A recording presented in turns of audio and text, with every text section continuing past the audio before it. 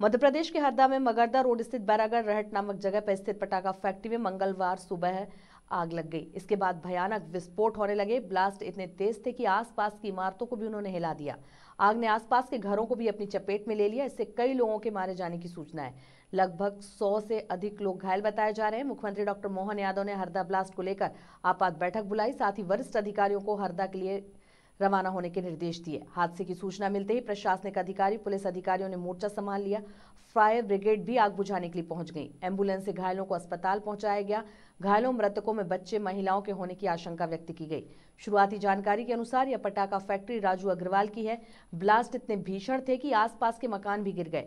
मुख्यमंत्री डॉक्टर यादव के निर्देश मिलते ही मंत्री Uday Pratap Singh, ACS Ajit Kesari DG home guard Arvind Kumar Harda पहुँचे, घटनास्थल पर पहुंचकर जायजा लिया और अस्पताल पहुंचकर घायलों से मिलकर डॉक्टरों के लिए उचित इलाज के निर्देश दिए।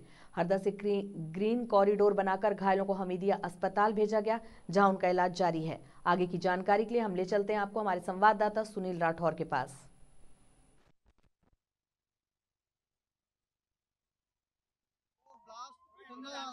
जोरदार हुआ था कि कम से कम 30 से 40 किलोमीटर दूर तक पूरी धरती में कंपन हुए हैं, है ना?